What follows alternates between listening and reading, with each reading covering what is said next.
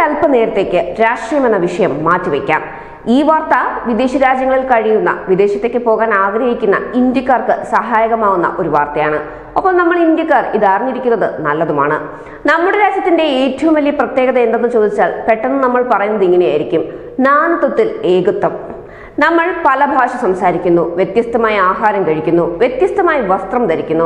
എന്നാൽ നമ്മളെല്ലാം ഒന്നാണ്. ഇന്ത്യൻ ഭക്ഷണം ഇന്ത്യക്കാരുടെ ഏറ്റവും വലിയ വികാരമാണ്. അതിൽ തർക്കമില്ല.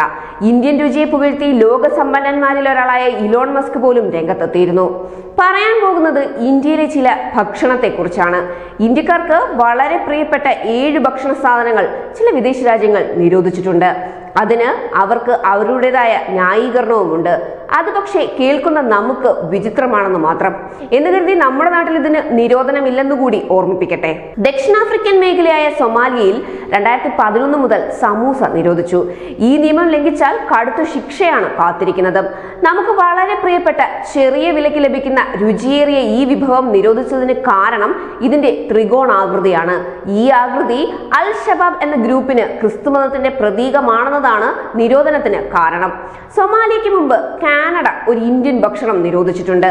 ആരോഗ്യകരമായ പോഷകങ്ങളാൽ നിറഞ്ഞ ചവനപ്രാശത്തിൽ ഉയർന്ന അളവിൽ ലെഡും മെർക്കുറിയും ചേർന്നെന്ന് ആരോപിച്ച് രണ്ടായിരത്തി അഞ്ചിലായിരുന്നു ആ നിരോധനം. ഈ ലിസ്റ്റ് ഇവിടെ തീരുന്നില്ല. അമേരിക്ക നിരോധിച്ചത് വേറൊന്നുമല്ല നമ്മുടെ നെയ്യാണ്. ചെറിയ കുഞ്ഞുങ്ങൾക്ക് പോലും നെയ് ചേർത്ത ഭക്ഷണം കൊടുക്കാറുണ്ട്. നെയ്യിൽ ഒരുപാട് ഗുണം അടങ്ങിയിട്ടുണ്ടെന്നാണ് പറയുന്നത്.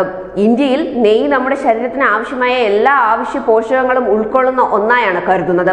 എന്നാൽ രക്തസമ്മർദ്ദം ഹൃദയാഘാതം പൊണ്ണത്തടി തുടങ്ങിയ രോഗങ്ങൾക്ക് നെയ്യ് കാരണമാകുമെന്ന് ഫുഡ് ആൻഡ് ഡ്രഗ് അഡ്മിനിസ്ട്രേഷൻ കണ്ടെത്തിയതിനാൽ അമേരിക്കയിൽ നിരോധിത ഉൽപ്പന്നമാണ് നെയ്യ്. സമൂസയും പക്കോടയും മുതൽ ന്യൂഡിൽസും സാൻഡ്വിച്ചും വരെ കഴിക്കുമ്പോൾ കെച്ചപ്പ് ഉപയോഗിക്കാറുണ്ട് നമ്മൾ.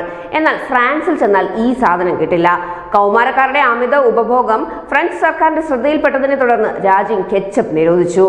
സിംഗപ്പൂർ നിരോധിച്ചത് ചൂയിങ്കമാണ് ശുചിത്വത്തിന് പേരുകെട്ട സിംഗപ്പൂർ ആയിരത്തി തൊള്ളായിരത്തി തൊണ്ണൂറ്റി രണ്ടിലാണ് എല്ലാത്തരം ചൂയിങ്കങ്ങളും ഉപയോഗവും വിതരണവും വ്യാപാരവും നിയന്ത്രിച്ചത്. എന്നാൽ ചികിത്സാപരമായ ഡെന്റൽ ചൂയിങ്കത്തിന് രണ്ടായിരത്തി നാല് മുതൽ നിരോധനമില്ല.